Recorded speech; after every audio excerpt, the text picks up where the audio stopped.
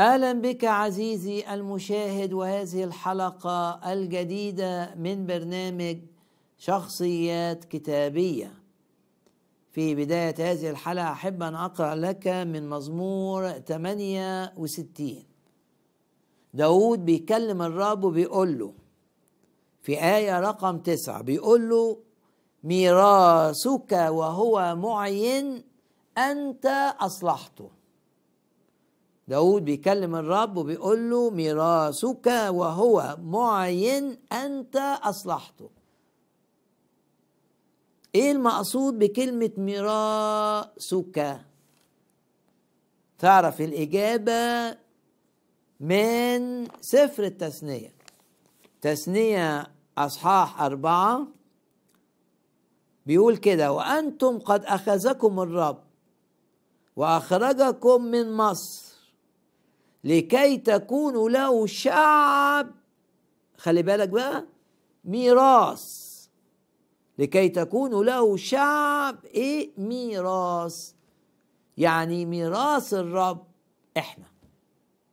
لما لو أنت ليك علاقة حقيقية بالرب يبقى أنت من شعب الرب يبقى بلغة سفر التثنية ومزمور 68 أنت من ميراث الرب.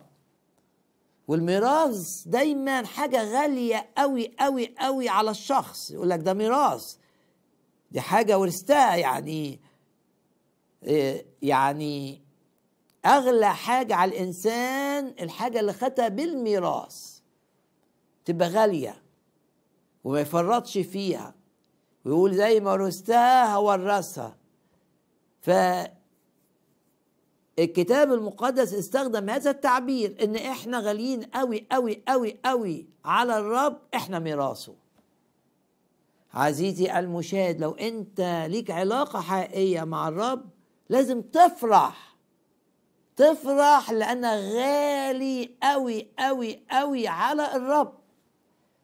ولأنك غالي قوي قوي قوي على الرب. الرب لا يهملك لا يتركك أبدا لا ينساك أبدا عشان غالي عليه. في آية بتقول كده صرت عزيزا الرب بيقول واخد الآية دي ليا الرب بيقول لي صرت عزيزا في عيني غالي عليا يعني مكرما وأنا قد أحببتك. يعني إحنا غاليين قوي قوي قوي على الرب. ليه؟ بسبب الحب بسبب إن قلبه بيحبنا فاستخدم تعبير الميراث. إحنا ميراث الرب.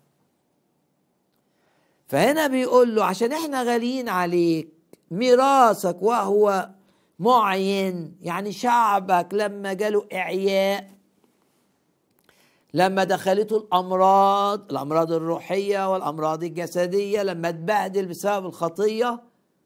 عشان دي أرضك يا رب إحنا أرضك إحنا ميراثك.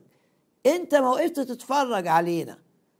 أنت أصلحت ما حدث ميراثك وهو معين أنت أصلحته. عزيزي المشاهد لو أنت أساسا ليك علاقة مع الرب آمنت بالرب يسوع اتقابلت مع الرب ووثقت إن خطاياك اتغفرت وبقيت واحد تقدر تقول من شعب الرب وبعدين النهارده أنت تعبان والنهاردة أنت فاتر روحيا. والنهارده انت مهزوز قوي قوي قوي. وبطلت خدمة و و لا مش صدفة انك انت بتسمع هذه الكلمات. الرب هيصلحك. سيب نفسك للرب. وقول يا رب أنا عندي إعياء. أنا عندي أمراض. أنا تعبان. أنا فاتر. لكن أنا غالي عليك. أهم حاجة إنك تقول للرب كده بإيمان أنا اللي فهمته من الكلمة إن أنا غالي جدا ثمين جدا في عينيك. ولهذا صلحني. وأتوقع إنك أنت تصلحني. واشتغل فيا بالروح القدس. ميراثك وهو معين أنت مش أنا. أحيانا يضحك علينا الشيطان ونعتقد إن إحنا نقدر نصلح نفسنا.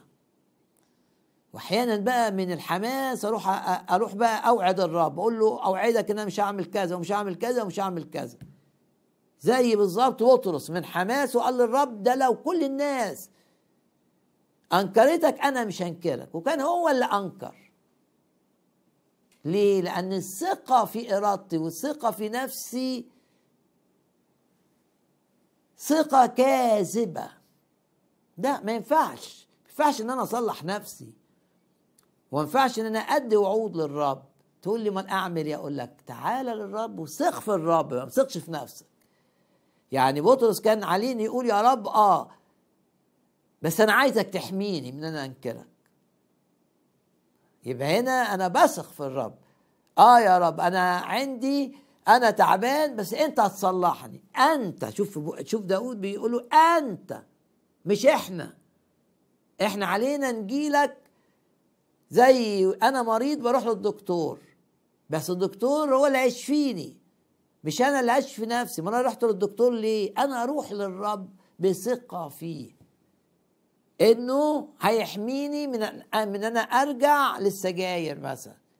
هيحميني من ان أنا أعود للنجاسة. هيصلح تفكيري. هتقول لي كل ده خرب من أنا بعدت قوي قوي. أنت تعرفش بعدت قد إيه؟ أقول لك ليكن. زي الابن الضال بعد إلى كورة بعيدة بعيدة في كل حاجة. والفلوس اللي جاية من التعب بتاعت أبوه ضيعها في أيام قليلة في النجاسة. إنما ده رجع هو ده أهم حاجة راح لأبوه فأبوه صلحه. يبقى إحنا دورنا إن إحنا نرجع نرجع للرب بقلوبنا ونقول له صلحنا. احفظ هذه الآية ميرا سكا ودي كلمة مناسك في حد ذاتها كلمة معزية جدا جدا. أنا ميراث الرب أنا غالي على الرب. آه. أنت ورثت بيت هتسيب البيت ده آه آه يقع ويتدمر وما يجيبلكش مكسب؟ لا. هتهتم بيه عشان ده بتاعك. إحنا ملك الرب. ميراثك وهو معين عنده أعياء. أنت عملت إيه يا رب؟ أصلحته. مش إحنا اللي هنصلح نفسنا. وعشان كده تلاقي آية عجيبة فيها صلاة. تقول إيه؟ توبني يا رب فأتوب. حتى التوبة. تقول التوبة ده موقف أنا باخده. أقول لك لا أنت محتاج في التوبة إن الرب يشتغل فيك عشان تبقى توبة حقيقية. عشان يبقى رجوع حقيقي من القلب. توبني يا رب فأتوب. اشفني يا رب؟ فأشفى. لو أنت عندك إعياء روحي عندك تعب عندك أمراض روحية أمراض نفسية أمراض جسدية تعال إلى الرب. ثق فيه أنه أعظم طبيب سيقودك بطريقة أو بأخرى من أجل شفائك النفسي الجسدي وطبعا الروحي. عزيزي المشاهد تعال معي الآن إلى صموئيل الثاني سفر صموئيل الثاني أصحاح 15 بنكمل التأمل في قصة أبشالوم ابن داود. وشفنا في الحلقة اللي فاتت إن المأساة بدأت لما داود رجع العلاقة مع أبشالوم بدون ما أبشالوم يظهر التوبة. شيء خطير. وقلت لك ده عكس اللي عمله يوسف. يوسف ما رجعش العلاقة مع أخواته إلا لما شافهم اتغيروا. تابوا يعني. و وما وما عادوش يفكروا زي ما كانوا بيفكروا زمان. وعمل لهم امتحانات كده من غير ما يحسوا عشان يتأكد من هذا. وبعدين رجع العلاقة. أنا مطالب إن أنا أسامح أي حد يسيء الي والمسامحة معناها إيه؟ معناها نرجع العلاقة؟ لا. المسامحة معناها إن أنا إن أنا ما عنديش بغضة للشخص ما عنديش رغبة في الانتقام لو في وقت محتاج مساعدة مفيش حد يقدمها غيري هقدم المساعدة؟ لو مثلا في المستشفى محتاج نقل دم وأنا الوحيد اللي فصلت زي فصلته هتبرع بالدم؟ دي المسامحة. ممكن المسامحة يبقى فيها كمان أصلي من أجله دي المسامحة. لكن نرجع العلاقة ونبقى زي الأول أصحاب وأصدقاء لا ده محتاج حاجة تانية. يبقى المسامحة دي حاجة قلبية. ترجيع العلاقة بقى محتاج إيه؟ محتاج إن أنا أتأكد إن الأسباب اللي قادت لضرري في علاقته معاه وخلتنا نبتعد الأسباب دي مش موجودة. يعني هو اتغير.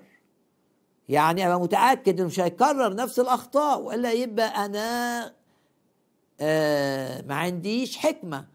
بعرض نفسي لسلب جديد بعرض نفسي لأذى جديد برجع علاقة أنا اتضريت منها.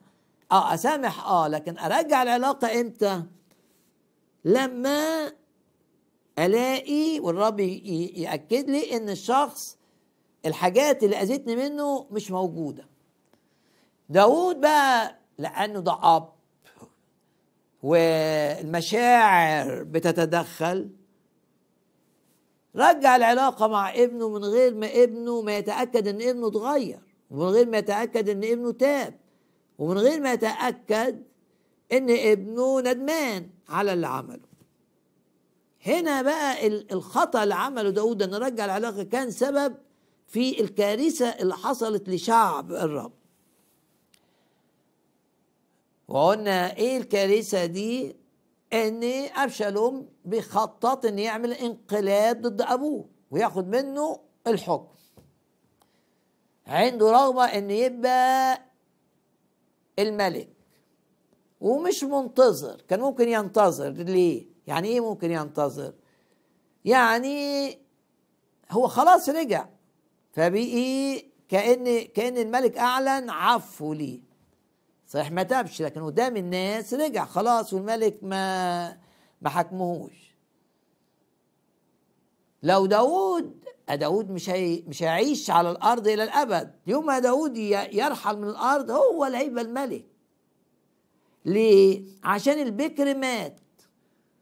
وفي واحد تاني كان اتولد بعد البكر أمنون بس يبدو أيضا ما نسمعش عنه حاجة مات. فالعين عليه على ابشالوم فابشالوم في الوقت المعين المناسب. هيبقى ملك. لا بس في ناس بقى بتبقى مستعجلة. هو عايز أقعد أستنى لغاية ما ما أبقى ملك؟ طب ما أنت دلوقتي ابن الملك دي حاجة مش قليلة. أمير يعني الأمير أبشالوم. وداود بيدي لأولاده دايما اختصاصات عظيمة ومهام مهمة في الأمة وهيبقى ليك وضعك وانتظر. لا أنا لازم أبقى مالك دلوقتي. باسم الرب يسوع ما يبقاش عندنا عدم التسليم للرب في التوقيتات. أنا عايز الوقت. لا لازم تنتظر وقت الرب. لازم نتعلم ننتظر وقت الرب. ونصلي ونقول يا رب احفظنا في مشيئتك من جهة التوقيت. ولما تحس نفسك كده إنك مندفع تعمل حاجة تقول يا رب لو أنا مندفع فرمني. فأبشالوم عايز يبقى ملك عايز يبقى ملك الوقت ومش مهم أي حاجة. عايز يعمل انقلاب على أبوه. وأبشالوم عنده مميز عنده حاجات كويسة. يعني عنده التخطيط مثلا يخطط للحاجة. دي حاجة كويسة خصوصا لما تخطط وأنت مع الرب. لأن لو خططت من غير الرب تخطيطك هيطلع غلط. لكن بيخطط بينظم بيدرس. يعني مثلا لما حب ينتقم من أمنون قعد مستني سنتين بيدرس فيهم. عشان الخطة بتاعته تنجح. آه هو عايز يبقى ملك دلوقتي بس في خطة. إيه بقى كانت الخطة بتاعته؟ أول حاجة عمل لنفسه صورة قدام الناس. لأنه عارف إن الناس بتنخدع بالصورة الخارجية ما المنظر الخارجي. يعني ممكن يبقى واحد نافع لبلده جدا جدا جدا لكن ما بيوصلش. يدخل كل الانتخابات يقع فيها ليه؟ لأن ملهوش الصورة اللي الناس حباها. فعمل لنفسه صورة. إيه الصورة؟ يقول لك اتخذ مركبة وخيلا وخمسين رجلا يجرون قدامه. شرحناها دي قبل كده. بس ده اللي قاله صموئيل لما حذر الشعب من الملوك اللي هيجوا عليهم إنه إن الملوك هيبقوا يهتموا بالمظاهر. صموئيل النبي. وقبليه موسى زمان بقى الرب خلاه يقول في سفر التثنية إن الملك الأصول ما يبقاش عنده خيل كتير. ده ده من أولها. عامل مركبة وخيلا.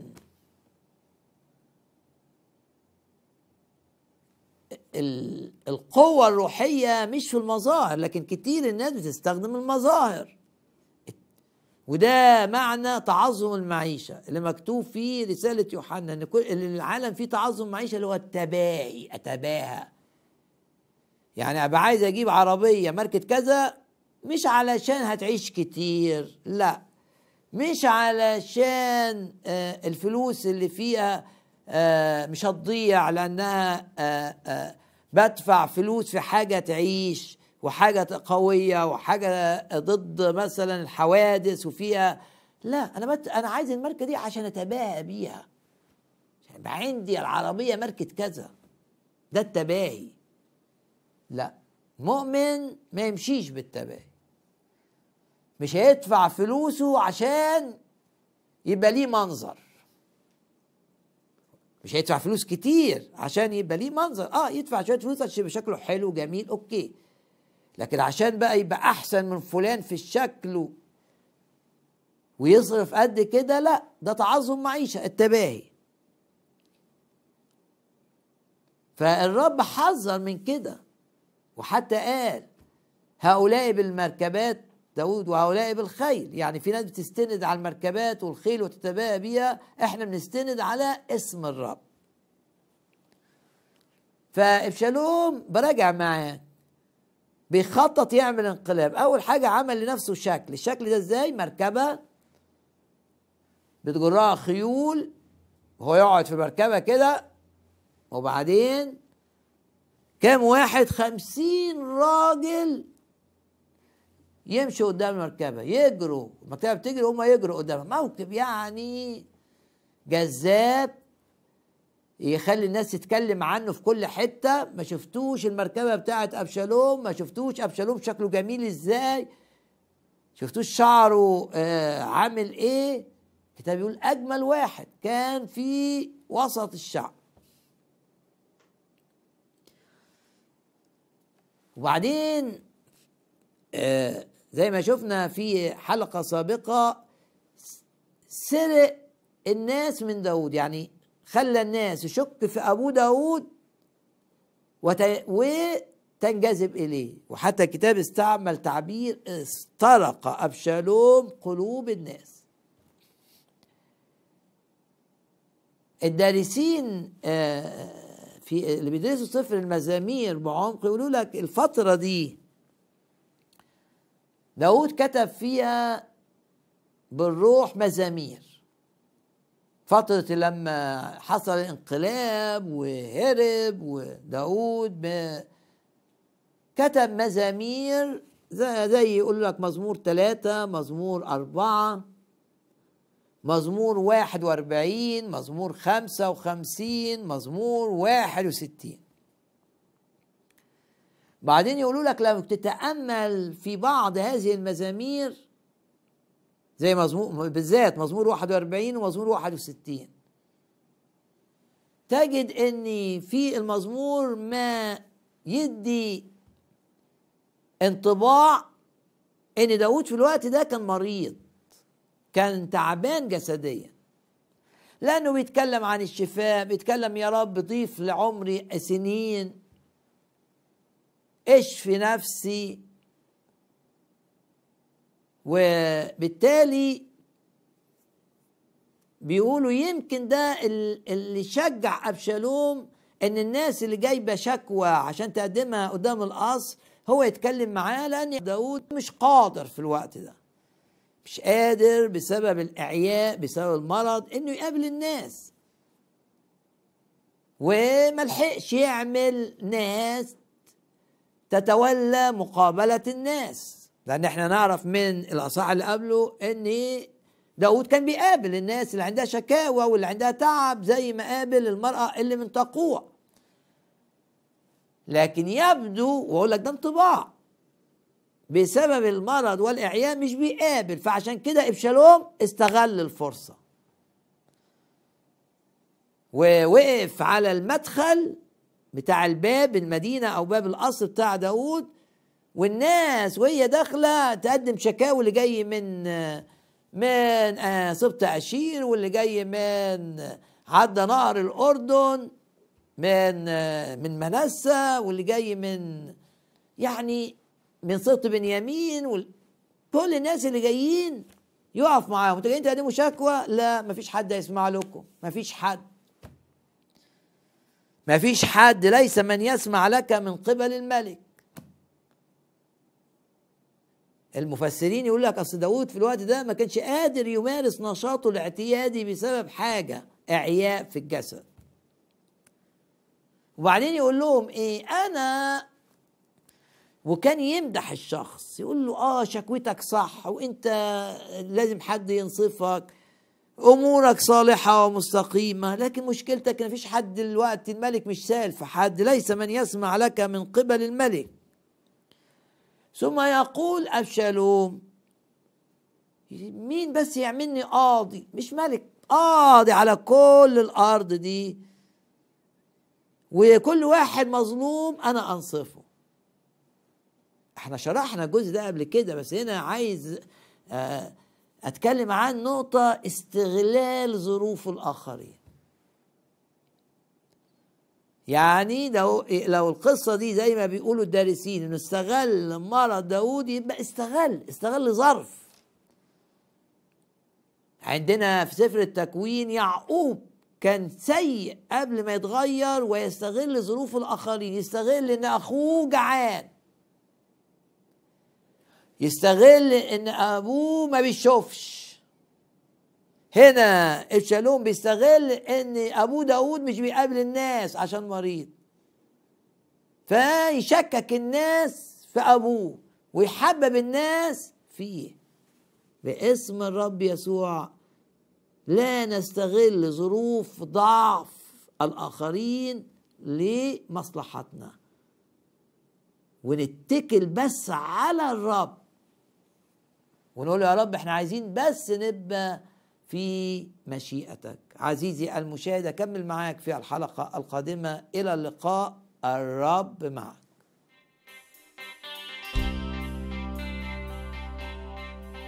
إلى كل أحبائنا المشاهدين نقدم لكم كتاب أغلق الباب وافتح النافذة هدية مجانية من خدمة أنهار الحياة عند تلقي مراسلاتكم. هيا اكتبوا لنا اليوم دون تأجيل وشاركونا بتعاملات الرب معكم من خلال البرنامج أو بأية استفسارات أو طلبات خاصة نصلي معكم من أجلها. راسلونا على البريد الإلكتروني mail at pastordaniel.org أو العنوان البريدي أنهار الحياة صندوق بريد 3030 الحرية هليوبوليس القاهرة جمهورية مصر العربية أو Rivers of Life PO Box 433 Greenford UB5 9BJ UK أو ارسلوا لنا بريدا صوتيا أو رسالة SMS على 012 2 577 88 وأخيرا ندعوكم لمتابعة ما يقدمه موقع خدمة أنهار الحياة الجديد باستمرار على www.pastordaniel.org الرب معكم وإلى اللقاء في حلقة جديدة من برنامج شخصيات كتابية.